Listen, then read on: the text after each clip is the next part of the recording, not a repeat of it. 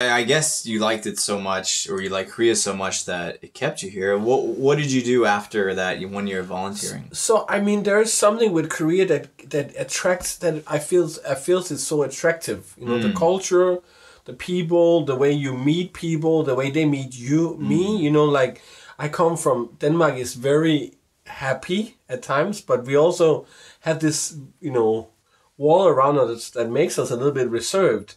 But suddenly I came and people were asking me like, "How am I?" You know, "What's up?" You know, "Where are you going? Where are you going with that basketball?" And and and I felt um, I felt a connection uh, with with the country that I have never had never experienced before.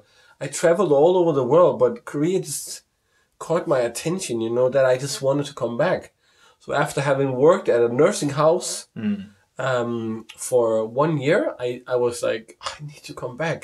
I need to come and experience the people. I need to learn more about the language. You know, I always grew up thinking that like Denmark is great, but Danish, You guys were lied to as children. I mean, like Danish is not spoken by a lot of people. You know, like I can't speak Danish to you. You understand me. I need to at least learn English. You know, for you to understand me, and then.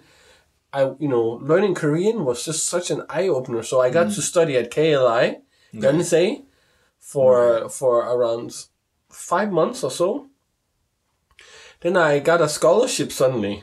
I got an opportunity to study to become. Um, uh, I wanted to become a um, hospice nurse because I had already studied for two years at the nursing, social and healthcare school in Denmark. So I wanted to um, study theology for a while, Lutheran, um, to become a priest, not a priest, but like a, a pastor, as you may say, for um, a bachelor, and then I could use that, you know, to become a hospice nurse. okay. So let's rewind a little bit. Yes. When you said that you had volunteered in Korea for a year and you went back to Denmark, how long were you back for before deciding you wanted to come to Korea again? So I was back for around one year.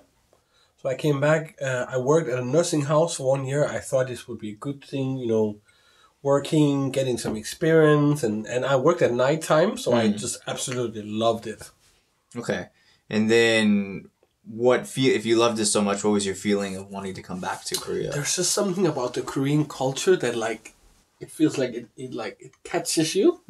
You just want to come back. You know the people, the the culture, the food, the history. It's just such a fascinating country. And then Denmark is not like the most exciting country to be in. Okay. So you're saying that we shouldn't visit. Visit, but don't live there. No, I'm kidding. But it's just um, it's just so exciting in Korea. Everything happens here, you know. Yeah, it's definitely even even in a city like LA where there's still a lot going on, it still doesn't feel as exciting as Korea, you know. So um I, I don't blame you. That's why I'm here as well, right? That's why I'm here as well.